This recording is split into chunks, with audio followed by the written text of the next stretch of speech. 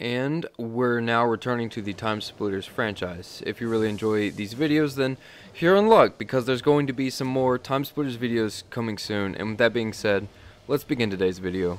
One of the ideas I've had recently is creating a cheat table for Time Splitters Future Perfect that would feature a ton of modifications on vehicles.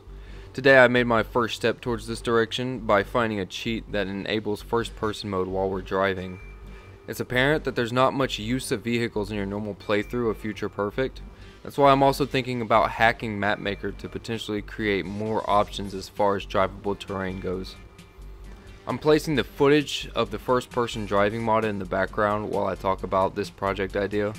The big problem for all this is that Dolphin is such a pain in the ass to work with and when it comes to cheat engine especially. Generating pointer maps is almost always never going to work. That basically means that whatever cheats we find and save to cheat engine, they all become forever invalid whenever the emulator closes. If you load the game back up, you always have to refind everything else in cheat engine and it is so tedious. That's why for the development of this cheat table, I'll be using a PS2 emulator called PCSX2. This will make it easier to create a cheat table that can reliably reload all of the hacks that I've found for this game.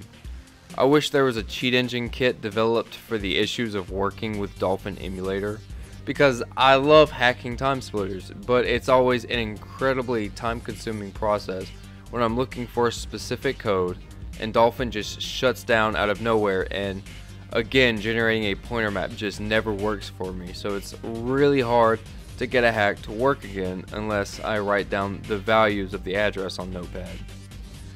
And I know this video was really short. I wish I had more to say but at the moment I just would like for all of you to stay tuned for some more time splitters videos. I've also got a lot of updates on the potential easter egg in Duke Nukem Zero Hour. So if you aren't caught up on that mystery, I really recommend watching that video. And do expect an update to that after this video is posted. With all that being said, stay safe and take it easy.